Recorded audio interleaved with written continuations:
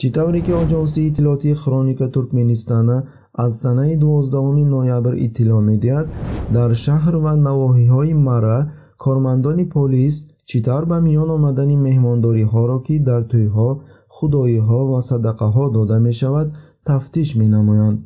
Таоми асосӣ дар чунин маъракаҳо доғрама аст. Нонҳои реза карда гӯшт ва пиёз буда бо гӯштоба рехта шуда мебошад инчунин ба дастархон миқдори зиёди нон тақдим карда мешавад. Тибқи гуфтаи манбаи хроника туркменистана вақтҳои охир кормандони полиси шаҳри мара рағбат доранд ки бифаҳманд дар аснои камчинии орд шаҳрвандон ордро аз куҷо дастрас менамоянд.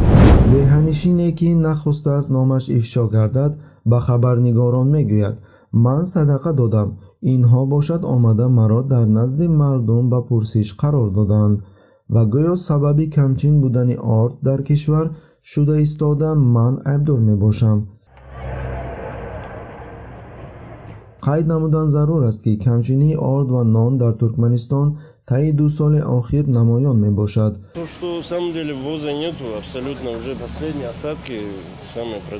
Ба камчинии орд дар кишвар нигоҳ накарда васоити ахбори оммаӣ ба ҳукумат тобеъ буда иттилоъ медиҳад ки истеҳсолкунандагони шахсии маҳсулотҳои нон мехоҳанд маҳсулотҳои нониро ба хориҷа содирот намоянд чӣ тавре ки шабакаи алтинасир иттилоъ медиҳад истеҳсолкунандагони маҳсулоти нонии вилояти дашогуз ки ҷиҳозҳои аврупоӣ дар ихтиёри худ доранд маҳсулотҳои нониро барои содирот истеҳсол мекунанд